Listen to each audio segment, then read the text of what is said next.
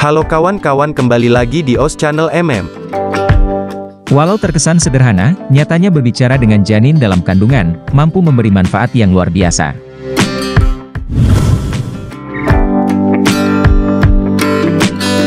Menginjak usia 26 minggu, ia mulai bisa mendengar suara yang asalnya dari luar tubuh sang ibu.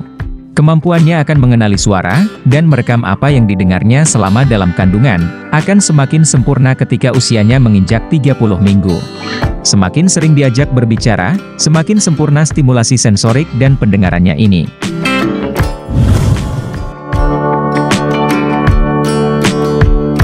Dari seluruh suara yang terdengar oleh si kecil, suara ibu merupakan yang paling jelas terdengar jelas oleh janin dalam kandungan. Tidak perlu bicara dengan suara keras, bisikan halus saja sudah dapat terdengar dengan jelas. Ini menjadi nilai plus dalam memperkuat ikatan ibu dengan si kecil, bahkan sebelum ia dilahirkan. Bagi Anda yang tengah hamil, berbicaralah sesering mungkin dengan calon buah hati.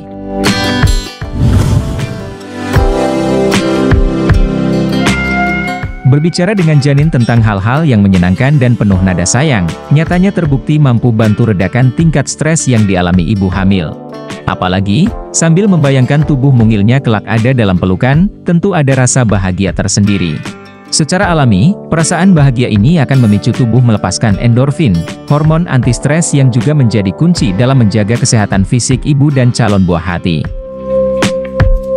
Jangan lupa tonton video menarik lainnya kawan, dan selalu dukung OS Channel MM.